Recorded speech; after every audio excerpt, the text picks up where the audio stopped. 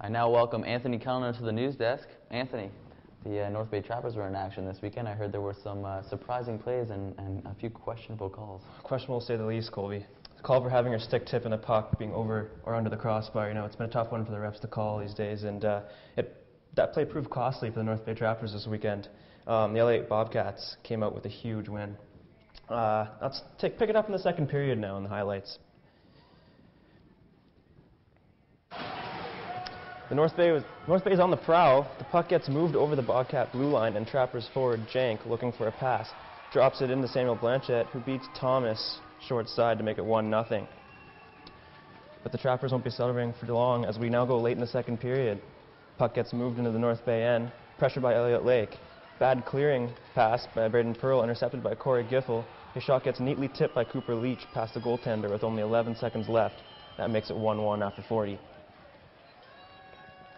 We'll head into the third period now.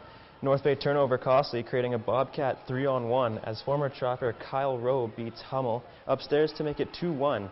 And with the Bobcats celebrating on the glass, Trappers coach Tom McCarthy hasn't given up hope. Then we'll kick it to the on the Trappers on the Trappers power play. Um,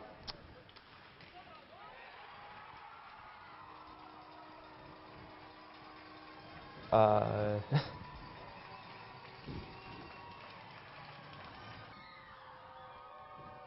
Okay, so this game uh, turned out to be.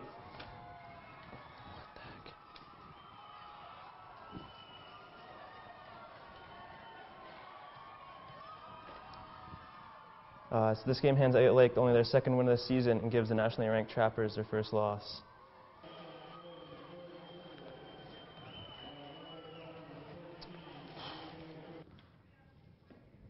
In local sports, the Trappers played another game last night and were in Sudbury looking to tally a win after their embarrassing loss to Elliot Lake. The Nickel Barons played a hard game but couldn't match up against the North Bay offense. Trappers easily slid by the Barons 4 to 1. Now, a couple updates on the Major League Baseball playoffs. Game 3 saw the New York Yankees take it late in the ninth inning to hold the Orioles to tie the series two games to two. Up 2 1 in the ninth inning, and just three outs from a win and 2 1 lead in the best of five series, Closer, Jim Johnson gave up a game-tying home run to pinch hitter Raul Ibanez. The game went to extra, extra innings, and nine batters later uh, was homered again off of Brian Matusz to end the game. The Detroit Tigers were three outs away from heading back to the American League Championship Series. Instead, they're going to have to return to the Oakland Coliseum for a decisive Game 5 after the Athletics manufactured a dramatic nine-inning rally. Seth Smith tied the game with a two-run double and scored the winning run on Coco Crisp's two-out single, lifting the A's past the Tigers 4-3. The first postseason game in 79 years for a team based in the city of Washington turned out to be well worth the wait. Pinch hitter Tyler Moore delivered a two-out, two-run single in the top of the eighth inning as the Washington Nationals opened up their National League Division Series against the defending world champion St. Louis Cardinals with a 3-2 come-from-behind win Sunday at Busch Stadium. Cincinnati hasn't won a home playoff game in 17 years, and the Reds attempted to change that last night. Buster Posey scored on a fielding error by Scott Rolen in the 10th inning, and visiting San Francisco Giants remain alive in the National League Division Series and kept Cincinnati in their 17-year slump. Well, once again, we'll try and stump Colby with our sports trivia question of the day.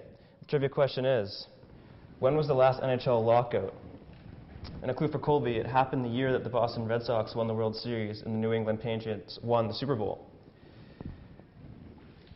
Actually, an interesting fact, Colby, is that uh, the, NHL, the last NHL lockout provided each team with a chance of obtaining the first overall pick in the year's draft. Hmm. Well, that's a tough one, and you stumped me on last last week's or yesterday's, sorry. Um, but I believe the uh, the answer to this uh, trivia question is 2004, 2005. Yes, you're exactly right there, Colby. The last NHL lockout was in 04, 05. Wow. Well, let's hope the lockout this year doesn't last as long as the one last year. Uh, quite the eventful weekend in sports, though. Uh, thanks, Anthony. Coming up next, uh, we talk to Katie Scott, the educational coordinator for Pride on Campus.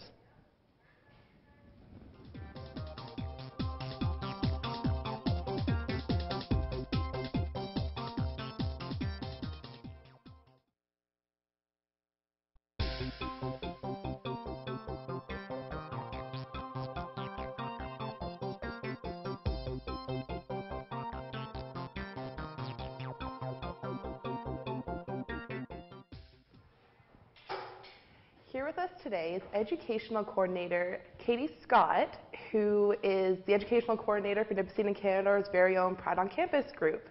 How are you today, Katie? Good, how are you? I'm great, thanks for asking. So, can you tell me a little bit about what Pride on Campus is all about? It's hard to fit it into a nutshell, but really, Pride on Campus is all about supporting and celebrating a diverse community here on campus, in our community, and across Canada. Right on. So, how many people would you say are involved in this group? There's actually 150 members on Facebook, but generally with our events, we have a dozen or two that come to most of them. Right on. Um, and how do you advertise for something like this? Um, we try and put out a lot of publicity because our focus is on getting more people involved, especially allies. Um, so we have posters up, we have emails we send out, we send out Facebook, and a lot of it is actually through word of mouth to friends and family. Right on. Um, so, what does your position require you to do? Last year, as the director of Pride on Campus, so I was really um, at the forefront talking to people, trying to connect with uh, new members. Uh, this year, I'm the educational coordinator. Um, so we work collaboratively as an executive, but my focus is uh, education and getting information out to the public. Right on. Um, so, what do you think the group offers the students? Um, Pride on Campus offers students a lot. I think a lot of students are looking for a more diverse community on campus. It's hard to have that kind of feel on a campus that is so small. So I think Pride on Campus um, does a lot of work that supports all students. Um, we have workshops, we have fun events where people can just socialize, meet new friends, um, but we also have educational events that are about, um, we have transgender positive workshops to help people get educated and more aware, um, and other workshops that provide information people aren't usually aware of. Right on. Um, so I saw on the Facebook group that it said that students and non-students were also uh, were available. Sorry, they were allowed to join the group. So I was wondering, um, are you guys involved with the community? Um, is Pride Campus involved in the community at all? Yeah, absolutely. Actually, we uh, work with two other gay straight alliances. They're actually high school based. They're high school groups, and we help them facilitate meetings and get their club running and uh, help their students with issues they're going through in terms of uh, family support and that sort of thing. Um, but we also work with community in general. We've got a lot of allies in terms of uh, the health clinic downtown, AIDS committee, and various other groups that support us a lot. And we always welcome community members to become a part of Pride. So, um, how long have you has this group been open? How, or even involved in the community as well? Um, we've existed for a lot of years. It's actually been the last year or so that we've um, kind of become more of a public event kind of coordinator than uh, just a student-run group because we think um, it's really important to get a sense of community going all across North Bay, just not on our campus or with a select number of friends as it's been in the past couple of years. I agree. It's not just a, a school thing; it could be a, a community thing as well. It's just it's Yeah. something that everyone has in common. Um, so, can you tell me about some of the events that you guys have hosted in the past? Um, last year, one of our biggest events was One Guy, Five Queers. It was based off MTV's very popular One Girl, Five Gays. And uh, it was just a dialogue workshop, interview style um, event. And basically, they watched as people were interviewing questions on love, sex, and relationships. We got a lot of funny responses. And then people could text in their own questions. And then at the end, we also broke up into a workshop so people could actually get engaged and answer the questions themselves. And it was a lot of fun. Um, we also did free hugs days to get people involved. If they actually didn't want to hug us, we actually gave out free like chocolate hugs from Hershey. and uh, we did a couple of workshops, a trans positive workshop. Um, we worked with the high schools and did a few other events, just social events to get people out and get people knowing each other. Yeah. That's the most important part for sure. So, I just wanted to know if our school has had any uh, history with harassment for being transgendered or homosexual in the past, and if so, how did you guys overcome it? In general, uh, the school is fairly tolerant. People feel pretty comfortable walking down, like down the hallways. Of course, there is specific examples where people have faced discrimination or harassment, but generally, it's a pretty safe school. We actually have um, transgender students here passing, which means that they don't get recognized as being any different than the gender they present as, which is great because they're just going through their day-to-day school life, no different than any other student, which is exactly what we want it to be.